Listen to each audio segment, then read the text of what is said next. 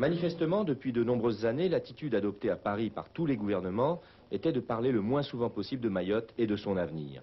Cela ne voulait pas dire que dans les cabinets des ministères concernés et à l'Élysée, on ne cherchait pas des formules pour trouver une solution équitable à cette question.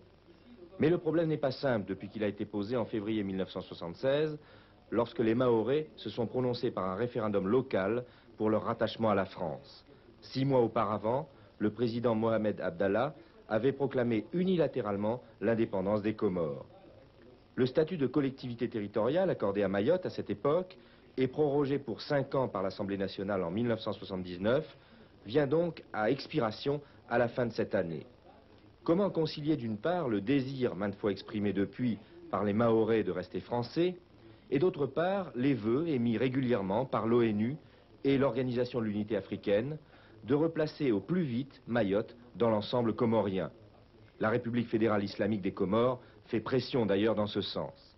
Actuellement, le gouvernement français agit en faveur d'un rapprochement dans les domaines économiques, techniques et culturels entre Mayotte et les Comores.